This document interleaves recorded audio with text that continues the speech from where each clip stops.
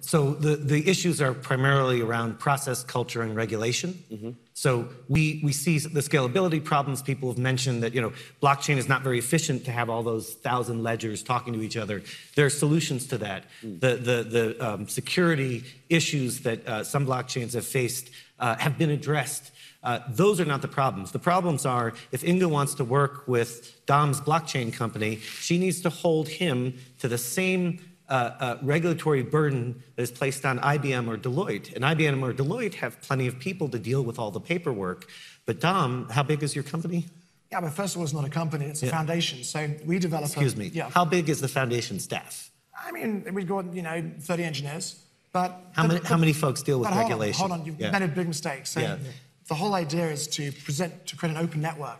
And it's a protocol that provides a service. If Inga and wants to not, use your not, protocol, how's she going to do that?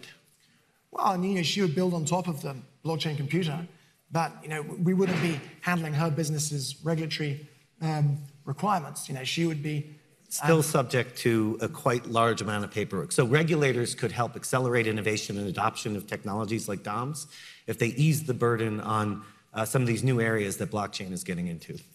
And Dominic, where do you see some of the, the potential stumbling blocks as well? Have you sort of any issues that arise as, as you're continuing to develop the protocol? Yeah, look, I don't think, um, you know, look, uh, people can use the internet today. You don't need to have a regulation to allow people to use the internet, and people will be able to use the internet computer.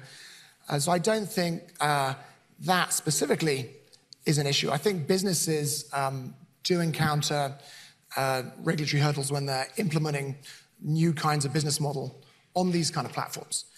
But, but you know, ultimately, they've got to, you know, work with their business teams and the regulators to find a solution that works for them. But that's very different to the platforms themselves. Mm.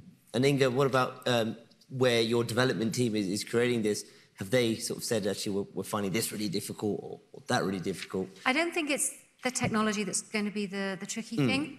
I think it's back a bit to the culture. Um, and it's going to be about the trust. Because we want to take this to customers. And trust is the biggest thing we've got to work on. I mean, society needs to work on it. We've got distrust of governments, big business, media now, you know, almost everything. Um, and our business relies really on trust because we are promising to pay something in the future if something goes wrong.